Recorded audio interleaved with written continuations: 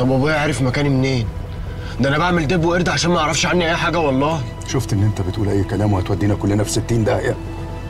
لولا إن رجالتي كانوا بيراقبوك كان زمان توفيق راح لإلهام وحكى لها على كل حاجة. لا أنا كده هتوسع مني ومش هعرف أكمل الحوار ده. أبوس إيدك يا فريد باشا اعفيني أنا من المسؤولية دي خالص. دي دي, دي حاجة مش بتاعتي أصلا. وأنا وأنا مش طب معلش معلش أنا أنا همشي من البيت ده وهمشي من عند الناس دي واشوف حد غيري أنا براءة معلش. براءة؟ هو دخول الحمام زي خروجه يا هبل ولا تكون فاكر إن أنت لو ما نفذتش اتفاقنا هترجع بيتكم؟ تبقى بتحلم. اوعى تكون فاكر إن أنت لو اختفيت فجأة كده كمال مش هنخرب وراك ويجيب قرارك وقرار اللي خلفوك. مش بعيد كمان تخش السجن في موضوع زي ده؟ مش أنت لوحدك. أنت وكل اللي ساعدوك. من أول اللي زور لك نتيجة التحليل في المعمل لحد اللي ضرب لك البطاقة. بس أنا اخاف انكشف مش عارف بصراحة إذا كنت هعرف أكمل لعب دور علي ده ولا لأ.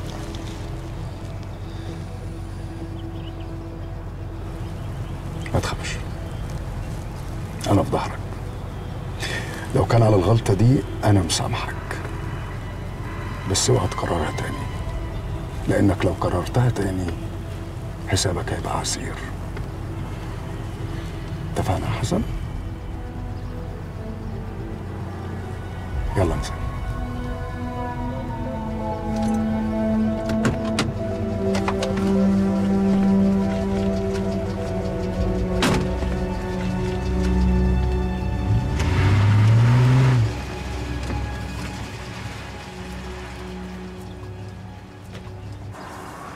عنك يا سعادة الباشا يا ابني حد اشتكالك أنا مبسوط كده.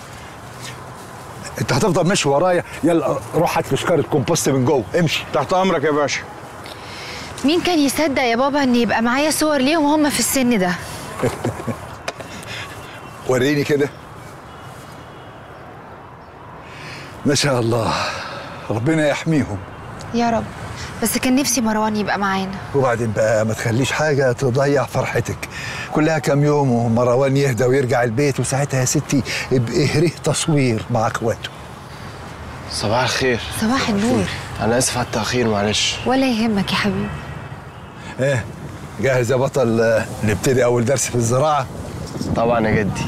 طب تحب أجيب لك هدوم تانية عشان ما توسخش هدومك؟ لا يا حبيبتي خالص أنا متعود على الشقه أساسا. ما شاء الله ما شاء الله. يلا بينا يا بطل.